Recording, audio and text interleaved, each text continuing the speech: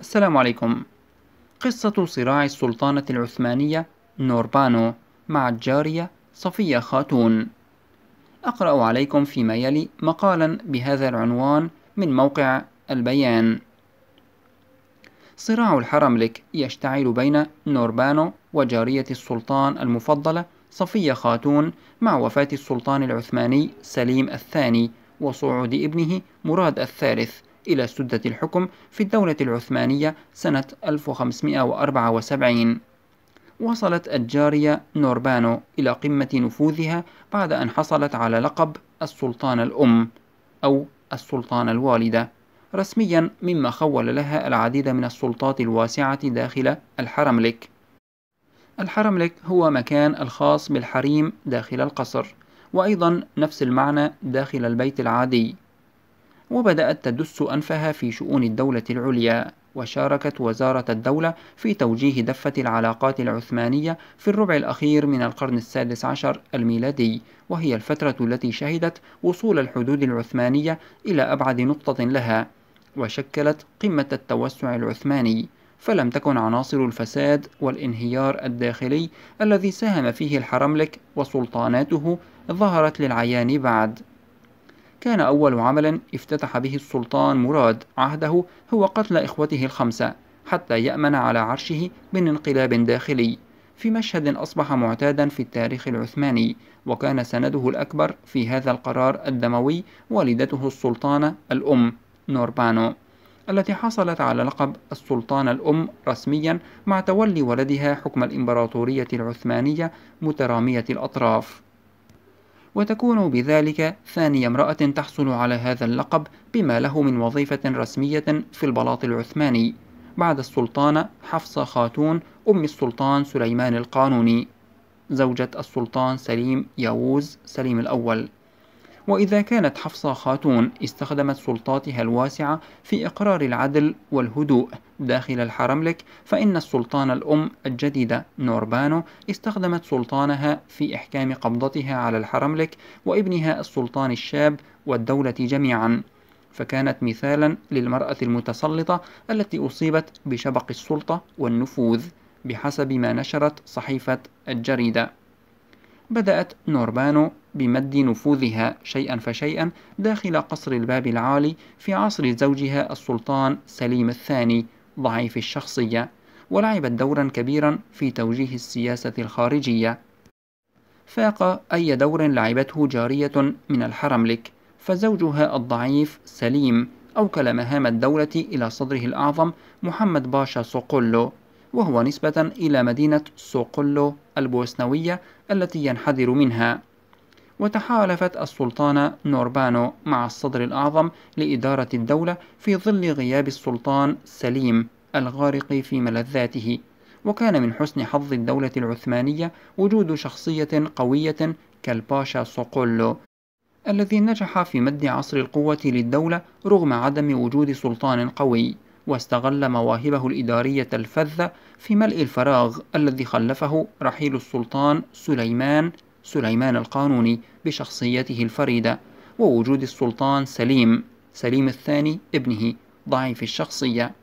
ما نجح فيه صقلو عن جدارة فإليه وحده تنسب تلك الانتصارات المبهرة التي حققتها جيوش الدولة العثمانية في عهد السلطان سليم سواء في أوروبا أو في اليمن. أو في تونس أو على الجبهة الإيرانية.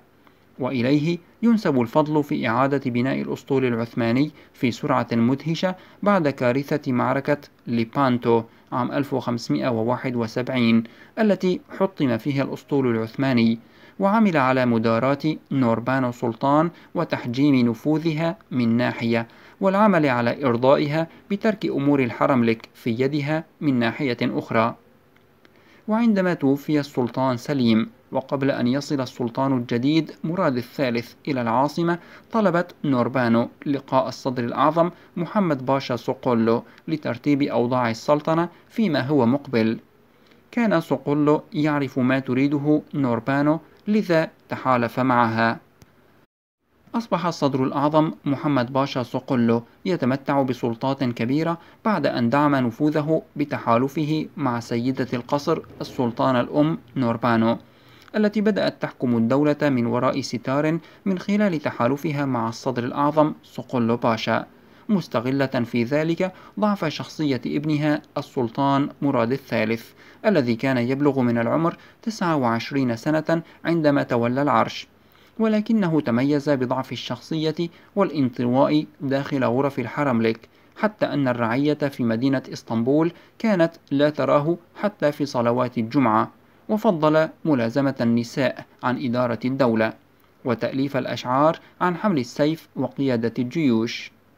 كان السلطان مراد الثالث يعشق الفخامة لذلك أمر بصناعة العرش الذهبي والذي تسلمه سنة 1585 وهو العرش الذي جلس عليه سلاطين الدولة العثمانية في الأيام المميزة كاحتفالات الجلوس والأعياد الإسلامية حتى عام 1924 وهو عام إسقاط الدولة العثمانية. حصدت نوربانو النفوذ الهائل الذي حلمت به يوما. بعد أن حصلت على لقب السلطان الأم في عهد سلطنة ولدها السلطان مراد الثالث واحتفظت بلقب السلطان الأم حتى وفاتها في السابع عشر من ديسمبر كانون الأول 1583 وكانت تقارن بكاترين ديميتشي الملكة الأم في فرنسا فكلتاهما من أصول إيطالية. وكلتاهما حصلت على نفوذ هائل داخل القصر الحاكم في بلديهما. وأدارتا شؤون الحكم من خلال ستار خاصة أن السلطانة العثمانية والملكة الفرنسية عاصرتا فترة تولي حكام ضعاف في ظل أوقات عصيبة. ولكن تبقى الحقيقة أن حكم كاترين ديميتشي في باريس كان أكثر قسوة وفظاعة من حكم نوربانو في إسطنبول. كان ما أثار إعجاب السلطانة خرم في نوربانو عندما دخلت القصر العثماني لأول مرة ذكاؤها الشديد. خرم هي والدة سليم الثاني وزوجة سليمان القانوني. لذلك تولت تربيتها لتخصصها لخدمة ابنها الأمير سليم الذي أصبح سلطانا فيما بعد. وعرفت نوربانو كيف تستفيد من ذكائها في إدارة أمور الدولة العثمانية. فكانت وبحق أول امرأة تحكم الدولة العثمانية من خلف الكواليس فيما بات يعرف باسم سلطنة الحريم وهي ظاهرة استمرت لعقود كانت النساء تحكم لأن السلطان ضعيف الشخصية أو صغير السن. من جهته ظل صقل باشا يمارس نفوذه بكفاءة يحسد عليها في ظل حكم السلطان مراد الثالث. واستطاع أن يحافظ على النظام وسط فرق الجيش خاصة فرق الانكشارية أكثر فرق العثمانية قوة وشراسة. كما استطاع أن يرسم بمهارة سياسة الدولة العليا في أوروبا طوال الشطر الأول من سلطنة مراد الثالث. لكن سلطات الصدر الأعظم الذي احتفظ بمنصبه لما يقارب الأربعة عشر عاما كان محل حسد خاصة من وزراء الديوان. الوزير أحمد باشا والوزير مصطفى باشا أو مصطفى لالا باشا والوزير سنان باشا الذين استطاعوا بمساعدة الأصدقاء المقربين من السلطان التأثير على مراد الثالث للتخلص من الصدر الأعظم.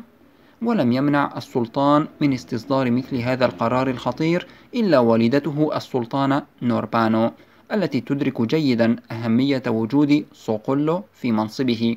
لمصلحة الدولة العثمانية ولصالح نفوذها. لذلك لم تستطع حاشية السلطان التخلص من الصدر الأعظم صقل باشا إلا من خلال مؤامرة دبرت في السر بعيدا عن أعين السلطانة الأم وسمعها التي ما علمت بما يدبر في الخفاء. إلا بعد مقتل الوزير الأعظم سنة 1579 واستشاطت غضبا من ابنها السلطان ووبخته على ما اقترفه من جريمة بترك من دبر لهذه الجريمة البشعة في حق رجل أخلص في خدمة الدولة العثمانية. وكانت السلطانة الأم على حق عندما اعترضت على اغتيال الصدر الأعظم صقل باشا. فالدولة رغم أنها حققت انتصارات قياسية ووصلت إلى أقصى اتساع لها في التاريخ. فيرجع ذلك إلى قوة الدفع الذاتي التي وفرها السلطان سليمان القانوني للدولة العثمانية من خلال بناء جيش قوي وجهاز دولة من أعلى درجات التطور في عصره. لذلك واصلت الدولة العثمانية انتصاراتها على الرغم من عدم خروج السلطان سليم سليم الثاني ابن سليمان القانوني. ومن بعده السلطان مراد على رأس الجيوش وملازمتهما الحرملك ولم تتوقف الانتصارات إلا سنة 1594 عندما بسطت الدولة العثمانية سيادتها على معظم وسط أوروبا. واعترفت دولة بولونيا والتي كانت في ذلك الوقت من الدول العظمى وأكثر قوة وأهمية من جارتها الدولة الروسية. كما اعترفت الدولة الصفوية في إيران بسيادة السلطان العثماني رسميا. فيما ضمت دولة الأشراف في المغرب العربي إلى النظام العثماني. لكن هذه الانتصارات ما كانت لتخفي الفساد الذي بدأ يدب في كيان الدولة العثمانية نتيجة لسياسة احتجاب السلطان وإطلاق يد الوزراء في إدارة الدولة. الأم والجارية. كان الخطر الوحيد على نفوذ السلطان نوربانو في حقيقة الأمر يتصاعد من داخل الحرملك، فالسلطان مراد المعروف بعشقه للنساء حتى قيل إنه أفرط في علاقاته مع أكثر من أربعين جارية فكانت النتيجة ذرية من صلبه جاوزت المئة. لكن جارية واحدة هي التي عاشقها حتى الجنون وهي الجارية الإيطالية الأصل صفية خاتون التي ربما رأى فيها السلطان مراد الثالث نفس صفات أمه ذات الأصل الإيطالي كذلك. وكان طبيعيا أن يمتلئ الحرملك بصراع السلطانة الأم المتمسكة بكل قطرة في نفوذها المتصاعد وبين الجارية الشابة المدعومة بحب السلطان الوله. لم تكتفي نوربانو بما حققت من نفوذ بل عملت على أن تترك بصمتها على الحرملك فعلا لا قولا.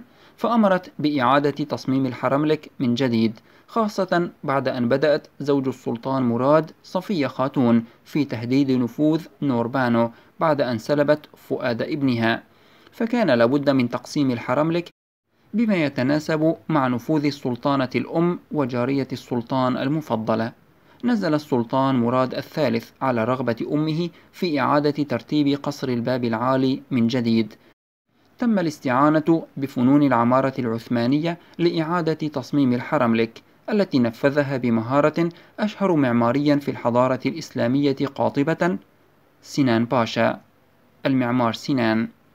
انتصرت السلطانة الأم نوربانو في معركة الحرملك بعد أن ضمنت زيادة مساحة جناحة الحرملك بصورة غير مسبوقة خاصة أنها جعلت من غرف الجواري البنية التحتية لجناح السلطانة الأم. فعندما تخرج السلطانة الأم من جناحها تطل من شرفة علوية على جميع أرجاء الحرملك وحققت بذلك السلطانة الأم نوربانو انتصارها بإعلانها فعليا أن مكانتها الأعلى من مكانة أي امرأة داخل الحرملك بما في ذلك جارية السلطان المفضلة صفية خاتون. لم يقتصر التعديل على جناح السلطانة الأم وغرف الجواري بل امتد ليشمل كل شيء في الحرملك تقريبا. فالسلطانة الأم نوربانو ذات الأصل الإيطالي تأثرت ولا شك بالفن القوطي وفن الباروك الذي بدأ يغزو أوروبا وقت ذاك وهو ما تجلى في فخامة أقسام هونكار هاماملاري أي حمامات السلطان وهونكار سوفاسي أي رواقات السلطان فضلا عن بهو الاحتفال وبهو الاستقبال في القصر السلطاني. التي ظهرت فيها جميعها فن زخرفة القباب العثمانية الشهيرة. أحد أوجه الصراع بين السلطان الأم نوربانو وصفية خاتون تمثل في تخصيص جناح لولي العهد الشهزادة محمد ابن السلطان مراد من صفية خاتون داخل الحرملك فالسلطانة الأم أرادت أن تضع حفيدها تحت عينيها وتشرف على تربيته. حتى إذا مات ولدها السلطان مراد فإن السلطان الجديد محمد يعترف بسلطانها على الحرملك. واستغلت نوربانو الصراع الذي نشب بين ولي العهد محمد شهزادة ووزراء السرايا حول الحرب مع إيران. وهو ما شكل سابقة تخالف القواعد التي وضعها السلطان محمد الفاتح بعدم تدخل ولي العهد في إدارة شؤون السلطنة بشكل مباشر. وتفاديا لتنفيذ قاعدة العرف العثماني بقتل ولي العهد في هذه الحالة تم وضع ولي العهد قيد الإقامة الجبرية في الحرملك. وهو ما جعل ولي العهد تحت سيطرة نساء الحرملك بعيدا عن مجالس رجال الدولة. ما سيكون له أثره البعيد على مستقبل الدولة العثمانية. على كل حال تم بناء جناح ولي العهد بالقرب من جناح السلطانة الأم نوربانو فوق جناح والدته حفصة باش خاسكي سلطان. لتكتمل عملية التجديد الشاملة لأقسام الحرملك وتوسعته في عهد السلطان مراد الثالث. ليصبح الحرملك أكبر أقسام قصر الباب العالي القصر الرئيسي للدولة العثمانية وهو ما عبر عن روح العصر الذي استفحل فيه نفوذ الحرملك وبدأ يدس أنفه عبر سلطاناته في شؤون الدولة. فضلا عن بصمتها الواضحة على الحرملك فقد اهتمت السلطانة نوربانو بالمنشآت المعمارية في إسطنبول فأنشأت مجمعا دينيا تعليميا في حي أسكدار أحد أعرق وأقدم وأضخم أحياء العاصمة العثمانية. أسكدار يقع على الجانب الشرقي أي الآسيوي من إسطنبول.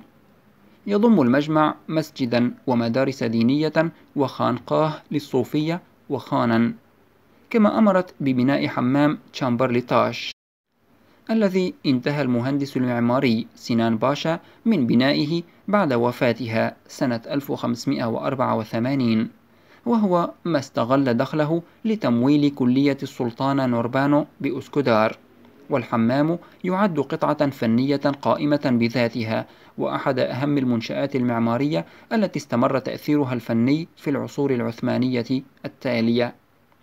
ولعبت السلطانة نوربانو دورا بارزا في السياسة الخارجية وخلال سنوات توليها مرتبة السلطانة الأم عملت نوربانو على تدعيم أواصر العلاقة بين الدولة العثمانية وبلدها الأم جمهورية البندقية. التي قيل إن أصولها تنحدر من إحدى أسر تلك المدينة الغنية كما أن نوربانو كانت السبب الرئيسي في توتر العلاقات بين الدولة العثمانية وجنوى طبعا جنوى هي العدو التقليدي للبندقية. بعد أن انحازت صراحة إلى صف البندقية عدوة جنوى واستخدمت نوربانو في علاقاتها الخارجية شخصية نسائية بارزة في هذا العصر وهي إستر كيرا. اليهودية وهي شخصية تمكنت من أن تلعب دورا كبيرا في السياسة الداخلية والخارجية العثمانية ومن خلال تغلغلها في دائرة حريم السلطانة ودعم السلطانة الأم نوربانو لها. حتى أصبحت كيرا مسؤولة عن جمارك إسطنبول بفرمان أصدره السلطان مراد الثالث وهي وظيفة ظلت تحتفظ بها لمدة نصف قرن تقريبا. بعض المؤرخين يرى أن إستركيرا مارست نشاطا تخريبيا في الدولة العثمانية من خلال تزييف العملة العثمانية وترويجها مما انعكس سلبا على مالية الدولة العثمانية كما عملت على بيع المناصب ونشر الفساد الإداري والرشوة بين موظفي المالية. وكان لها ولدان هما إيليا ويوسف. شارك الأول والدته في عملها هذا. وعلى الرغم من علم الدفتردار بزيف تلك النقود إلا أنه كان يوزعها على الجنود تجنبا لسطوة ونفوذ اليهودية إستركيرا غير أن الجنود تذمروا جراء توزيع تلك النقود بدرجة أدت إلى نشوب حركات تمرد داخل الجيش وإعدام عدد من الوزراء قبل أن تطيح إحدى الثورات الإنكشارية بإستركيرا أحد الاتهامات التي ألقيت في ساحة السلطانة نوربانو تلك التهمة المتعلقة بأصول السلطانة فبعض الروايات تشير إلى أن نوربانو ذات أصول يهودية وأن أصولها اليهودية كانت السبب في إفساح الطريق أمام تغلغل النفوذ اليهودي داخل الدولة العثمانية وخصوصا في قصر السلطان.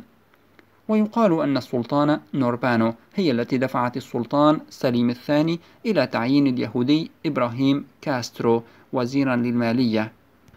وكان كاسترو هذا قد جاء مهاجرا إلى الدولة العثمانية مع 500 يهودي في عهد السلطان سليمان القانوني وذلك عام 1553 وكان كاسترو مسؤولا عن صك العملة في مصر.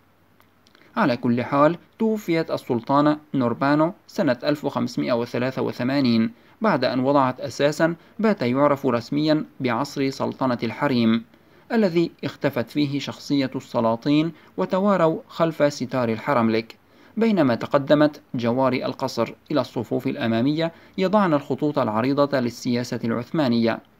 ما جر الخراب إلى الدولة سريعا وهكذا عندما رحلت السلطانة الأم نوربانو سلمت مفاتيح القصر والحرملك إلى عدوتها اللدودة الجارية صفية خاتون التي ضحكت أخيرا بعد أن حسم القدر صراعها مع السلطانة الأم نوربانو.